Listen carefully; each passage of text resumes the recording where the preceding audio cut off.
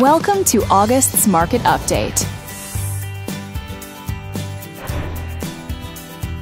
Let's take a look at residential real estate activity in your area during the month of August. The number of active listings was down 44% from one year earlier and down 6% from the previous month. As you can see, the median listing price for the month was just under $380,000. Compared to last year, the average number of days that units spent on the market before being sold was down 29%. The median sale price was $300,000. The number of units sold decreased 40% year over year and increased 100% month over month.